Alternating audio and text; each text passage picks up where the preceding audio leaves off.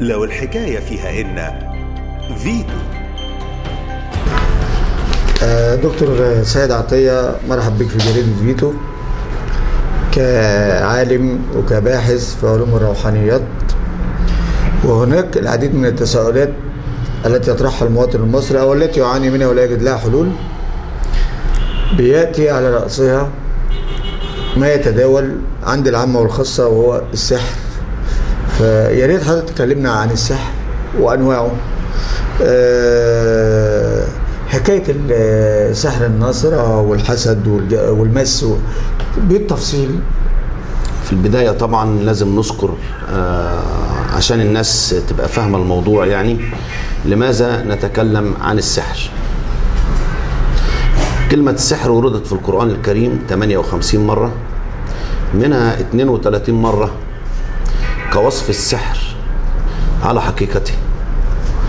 و16 مرة ذكرت لتوضح معنى السحر أو معانيه. والسحر هو عبارة عن عقود عددية ورقية يعلمها السحر.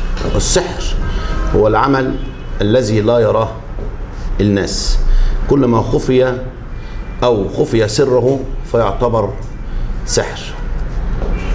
والسحر من الأشياء الخطيرة جدا إن المولى عز وجل قدر بعض الناس إن هي تقدر تمارس السحر في إيذاء بعض ناس أخرى. وده طبعا من الناحية الدينية حرام وكفر بالله. فالساحر آه، بطقوس آه، معينة بيستطيع إن هو يأذي بها آه، البشر. والموضوع علمي إن الساحر بيبقى له آه، طقوس معينة في عمل السحر. على سبيل المثال أي سحر بيتكون من آه، عنصرين اللي بيقوم بيهم الساحر. عبارة عن طلسم بيقوم الساحر بكتابته وده لأن في ناس ممارسين السحر ب- عن طريق أرقام معينة. بيبتدي كل إنسان في الدنيا عن طريق اسمه أو تاريخ ميلاده. أو طريق اسم والدته هم طرق شتى في مجال السحر. بيبتدي الساحر والعياذ بالله بيربط الشيء الذي يريده في إيذاء الشخص. يعني كل نوع من أنواع الضرر بيبقى له رقم معين أو رسم هندسي معين ويسمى بطلسم. فبيقوم الساحر بعمل الطلسم ده للشخص نفسه وابتدي يتحكم فيه على نوعية آه، الضرر. فبيبتدي يعمل له طلسم فالطلسم في خلال 72 ساعة ثلاث أيام تقريبا بيتحول الشخص آه، عن طريق الهالة اللي حوالين رأس الشخص. وبعدها ب 72 ساعة أخرى الطلسم بيتحول آه، لبؤرة سحرية لها قوة مغناطيسية بتجذب الخادم آه، للطلسم. فبيتم مفعول السحر. وهنا فك السحر في في المرحلة دي بيبقى صعب لأن لازم الطلسم بيبقى عامل قوة جذب للخادم ما يقدرش يخرج من مدارها إلا بقوة دفع أقوى من قوة الجذب. تاني الجملة دي دكتور سيد السحر ال- اللي عامل السحر أمر فكه بيبقى صعب من خلال إن هو بيجعل طلز... آه، آه، فكه بيبقى صعب. ليه بيبقى فكه صعب؟ فكه بيبقى صعب لأن إحنا لما نتكلم حاجة نوضحها هامة طبعا السحر ده علم يعني الشخص نفسه اللي ممارس السحر. في بعض ناس منهم متمكنين في هذا آه، المجال. فالسحر طبعا أما بيبتدي يصيب الشخص لازم نجيب حد فاهم الموضوع بيتم إزاي. لأن ده علوم روحانيات بحتة الباراسيكولوجي لما يكون الواحد دارس الموضوع ده بيبقى فاهم. الطلسم بيكون عامل جذب للخادم. فهنا إن إحنا بنحاول الأول إن إحنا نبطل الطلسم ده اللي شغال بطريقة علمية يعني وفاهم آه، إنه يعالج الموضوع إزاي. وبعد آه، فك الطلسم بيبتدي يتحكم إن هو يطرد الجني عن هذا الشخص. فطبعا من شروط السحر آه، أول حاجة نوع السحر. المادة المستخدمة في السحر هل السحر له علاقة بالأفلاك ولا لا؟ ففي ثلاث شروط. طبعا في بعض الحاجات منها ما بتتفكش إلا إن كان الشخص على علم ودرايه كاملة بالموضوع ده. وفي حاجة تاني إيه أنواع من- إيه أنواع السحر؟ وإيه المواد المستخدمة؟ فيه من من أخطر أنواع السحر. وده طبعا حاجة بيبقى فاهمها الجماعة الروحانيين ان ان, إن السحر بيبقى له ست عناصر. لذلك في فكه في بعض الناس بتجيب آه، آه، نجمه داوود اللي هي النجمة السداسيه كل مكان أو كل ضلع منها السحر طبعا فاهم الموضوع ده بيعمل إيه. هنا بيبقى الطلسم والجني ونوع السحر والمادة المستخدمة في السحر والبخور وهل السحر له علاقة بالأفلاك ولا لأ؟ فبيتبع الت... ال... ال... ال... الأساليب دي الساحر نفسه فبيتم مفعول السحر. أما بالنسبة لأقوى نوع من أنواع السحر هو ما يسمى بسحر الفودو أو سحر القبالة أو؟ أو سحر هيمون هو له له أسماء عدة يعني. وده مشهور آه، في أفريقيا. وبيحذر كهنة اليهود. الكهنة نفسهم بيحذروا إن أي حد ما ما, ما يقربش لهذا الموضوع ويمارسه إلا بعد سن ال 30 سنة. وده لخطورة آه، هذا السحر. ومشهور جدا في أندونيسيا لأنه بيكتب بدم ال- الإنسان بدم البني آدم. بتتكتب الطلاسم وده بيستخدم عادة في النسف في القتل في إيذاء البشر. ده نوع خطير جدا من السحر لأن بيبقى فيه عقد ما بين الساحر نفسه والشيطان. دي أعمال آه، شيطانية. فده من أقوى أنواع السحر سحر القبالة طيب آه ده نوع من ده, ده نوع من أنواع ال- السحر. آه هل هناك أنواع أخرى؟ السحر طبعا ما بيكتفيش آه، على نوع معين. السحر ليه أنواع كتير آه، جدا. فإحنا هنذكر منها الأشياء آه، المتدرجة. في سحر اسمه سحر التولة وده بيبقى عبارة عن سلب إرادة للشخص أو جذب لأمرأة تانية يعني. ده نوع من السحر. آه، بس حابين نتكلم آه، السحر إزاي بيتم عشان يبقى الموضوع آه، مفهوم. آه، ان في ناس كتير مش فاهمة الموضوع بيحصل إزاي يعني. آه، ال- الإنسان حوالين جسده الانسان بيتكون من اللي هو الجسد الفيزيكي والجسد الأسيري والروح.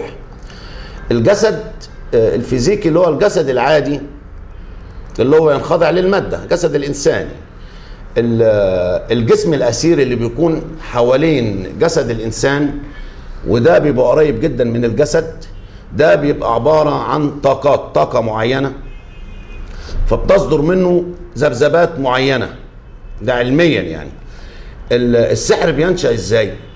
ان إن الخادم ده خادم السحر أو الطلسم له ذبذبات معينة فالذبذبات دي بتبتدي تأثر على عقل الإنسان ده تأثير خادم السحر أو الجني. ما بيدخلش جسد الإنسان يعني مش بيدخل جسده. التأثير كله بيكون حوالين الهالة اللي حوالين الرأس. رأسه. فبيبتدي يتحكم في بعض آه، أعضاء جسد الإنسان عن طريق إشارات معينة بتوصل للج- للجسم الأسيري. فالجسم الأسيري إذا حصل فيه خلل فالجسم الفيزيكي بيبتدي يتعب وتظهر علامات آه، السحر. يعني ده بالنسبة لتأثير ال- خادم السحر أو الجن أو المس لأنه كله بينخضع تحت مسمى مس يعني السحر نوع من أنواع المس. فبيبتدي يتأثر الشخص المسحور بهذا الأمر يعني. طيب حضرتك قلت آه، إن إن هناك أنواع اللي هو زي آه، سحر الطوله سحر الطولة آه. الطاولة. آه. وقلت إن هناك آه، السحر آه، ال- الهيمون أو القبالة. سحر هيمون أو سحر الفودو أو سحر القبالة. أو القبالة. هل هناك آه، أنواع أخرى من السحر؟ وده اللي بيسمى كله بيندرج تحت ال- السحر الأسود له مشتقات كتير في منها حاجات ضعيفة. وفي منها حاجات بتبقى قوية بس أنا مقسم هذا الموضوع لثلاث أنواع يعني. آه، الشخص اللي بيكون آه، بيعمل بسحر الفودو أو سحر القبالة بيكون معاه شيطان والعياذ بالله فبيسلطوا على الشخص نفسه اللي عايز يأذيه بدون أي مواد مساعدة. مواد مساعدة يعني بدون بخور بدون طلاسم بدون أي موضوع مجرد إنه بيديله أمر فقط يعني. آه، النوع اللي أقل منه شوية إن في شخص بيبقى معاه آه، شياطين أو له أرواح أو طرق آه، والعياذ بالله طرق مضرة للبشر بيبتدي يستخدم فيها بخورات وبيستخدم فيها تعاويذ معينة وبيسلط آه، جني على هذا الأمر. لكن الموضوع ما بيتمش إلا إن كان هناك آه، طلاسم بتتكتب وأبخرة معينة في أوقات معينة. وده نوع أقل شوية من سحر الكباله النوع الثالث وده أضعف شوية إن الشخص بيتعامل بطريقة آه، علم الأوفاق أو أو بطرق تانية علم الحرف وده علم نقي جدا بس في بعض الناس بتستخدم هذا العلم فيما لا يرضي الله يعني. بس الضرر بالنوع ده بيكون أضعف شوية يعني. يعني هم ثلاث أنواع. آه. وفي آه سحر تاني بيبقى سحر تفريق. إن بيقوم الساحر باسم الشخص بياخد اسم الشخص أو اسم زوجته أو أهله وعن طريق عقود حرفية ورقمية وعددية يعلمها الساحر وبينقي الشيء الذي يريده وبيختاره يعني وبيربطه آه، بالاسم أو تاريخ الميلاد وبتتم التفرقة. في هذه المرحلة الشخص بيخيل إليه بالنسبة لأهله أشياء ما حصلتش أو أشياء غريبة. وما بيكونش هو نفسه عارف آه، إيه اللي بيحصل يعني في حالة آه، يعني بيكون مسلوب خيال الإرادة. مصلوب الإرادة عامة المسحور بيكون مصلوب الإرادة شبه إن عقله غايب لأن هناك علميا في أمريكا آه، أثبتوا حاجة مهمة جدا لأن هم بيربطوا أنا لافف في أوروبا ولف في أمريكا بيربطوا دايما ما بين العلم والمادة science and magic بيربط ما بين ده وما بين ده ومهتمين بالباراسيكولوجي آه، والموضوع ده جامد. فاكتشفوا علميا إن في قشره أسفل جدار المخ.